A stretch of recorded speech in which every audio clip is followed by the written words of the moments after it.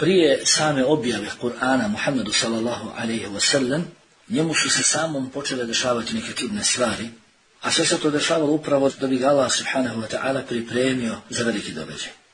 Svako od nas mora shvatiti važnost događaja koji se sprema. Vjerovjesništvo Muhammeda sallallahu alaihi wasallam.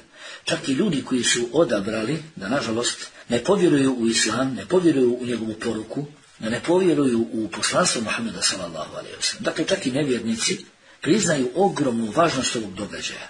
Ne samo za muslimane, već ogromnu važnost ovog događaja za čovječanstvo. Važnost događaja, objave Kur'ana i početka poslanstva Muhammeda sallallahu alaihi. Jer Arapi, koji su inače bili ljudi čija djeca jesu znala i do 15-20 karika u nesebu, u poreklu, koji su bili izuzetno oštroumni i mudri, izuzetno rečiti i pjesništvu, i pored svega toga Arapi ipak uglavnom nisu bili pismeni i bili su sasvim daleko od svjetske intelektualne scene, od pozornice civilizacije.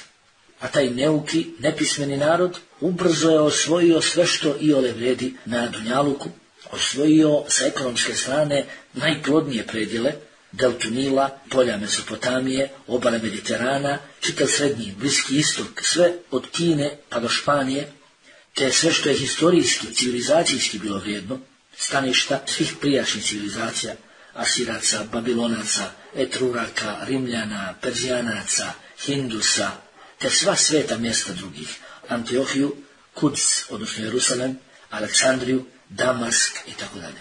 Srušili su dva carstva, dvije super sile u to vrijeme, Rim i Perziju.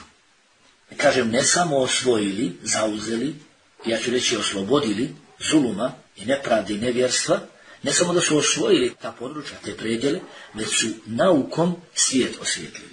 Naukom svijet osvijetlili. A sam taj napredak Islama je nadprirodno čudo. Desio se ni otkud, a još je i predviđen i predskazan od strane poslanika sallallahu alaihi wa sallam koji je u najtežim vremenima po sebi svoj umet, kada se nisu mogli zaštititi ni od spoljašnjih ni unutrašnjih neprijatelja, na Hendeku govorio prikazane su mi riznice Bizanta i Perzije.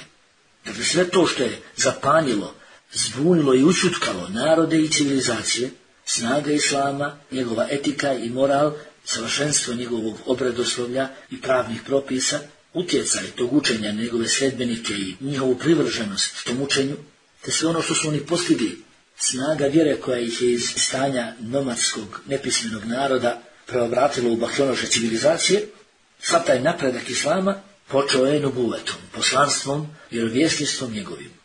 To znaju i nevjernici, makar i ne vjerovali u istinitost toga poslanstva.